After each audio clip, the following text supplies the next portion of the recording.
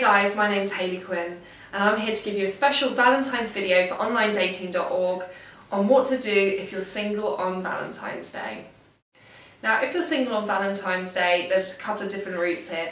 Maybe you'd feel comfortable just to ignore the occasion and you're a person that doesn't really rate Valentine's Day and you just want to get on with your own life. If that's you, that's great. However, if you're a person that really loves Valentine's Day and is perhaps a little bit sad that you haven't got a special Valentine in your life, um, I want you to take control of the scenario. What I want you to do is really enjoy the day despite the fact that you haven't perhaps got somewhat a special person in your life. So a great idea that you could do is maybe take time out for yourself, spend time with your friends and your loved ones and don't feel the pressure to necessarily have a boyfriend or a girlfriend in your life in order to enjoy the day. Instead plan something amazing with your friends. If you're a girl, maybe you want to write your girlfriend's cards and get them little heart-shaped chocolates and indulge the, the Valentine's Day pastimes and still enjoy the day and appreciate that you do not need a man in your life to go about having fun.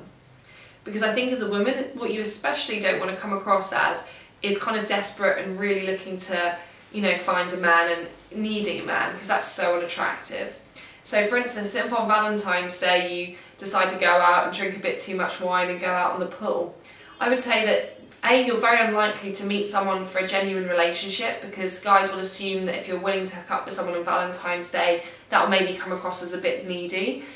Um, but also it gives off the wrong impression about you entirely. So instead, I would still go out, but I would go out with a group of your friends, whether you're a man or a woman. If Valentine's Day is important to you and you don't have a special Valentine, get a group of friends together, go out, hit some bars, have fun, have dinner together, enjoy each other's company and appreciate one another.